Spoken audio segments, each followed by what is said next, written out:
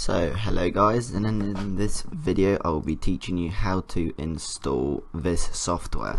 So first of all you'll need to go to the links below and download all three. Um, after that you will need two other programs which are WinRAR and Java.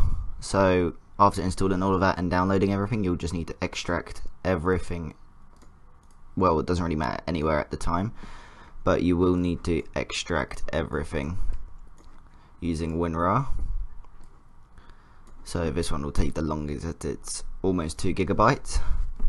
So once this is done, you will find uh, this file. Give it a couple more seconds.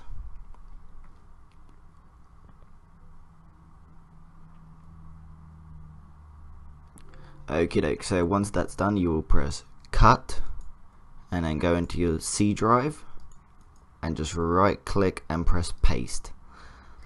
So it should appear here right now.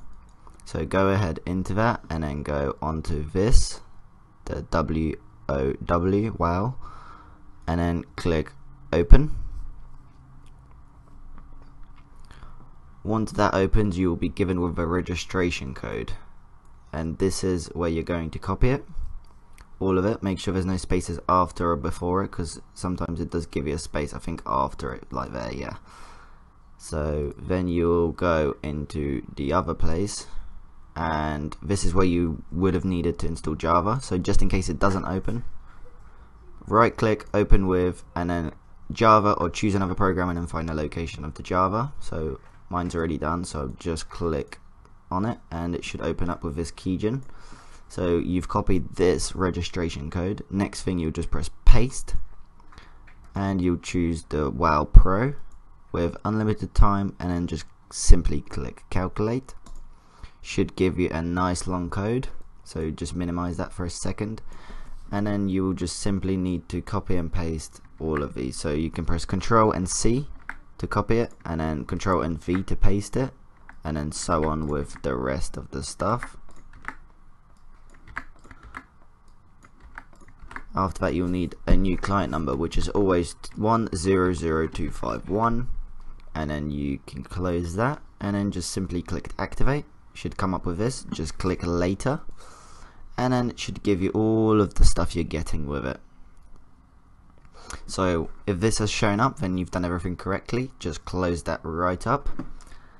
And now you can connect your device that you got with this package. So I'm just going to collect, connect mine to the USB so once that's connected, you can see that it's not recognized. So I'm just going to go into drivers and install this one, which will ask for user account control. Just click yes, allow it. That's done, and then do the same thing for this one. And then that's done as well. And then you can just go into the PC properties and then device manager and make sure it is in here, which it actually